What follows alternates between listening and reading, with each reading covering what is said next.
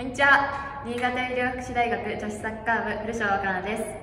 開幕まで時間がかかってしまいましたが応援してくれている人たちや支えてくれている人たちのためにも一戦一戦を大切に成長できるように頑張ります。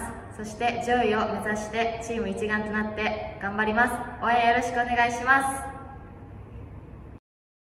す。福島の伊藤めぐみです。8月23日に2020シーズンのチャレンジリーグ初戦を迎えます。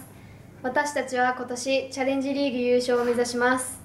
今まで練習してきた成果を発揮し1試合1試合大切に戦い確実に勝利をつかみたいと思います。そして楽しんでもらえるようなサッカーを皆さんにお見せできるように頑張ります。応援よろしくお願いします。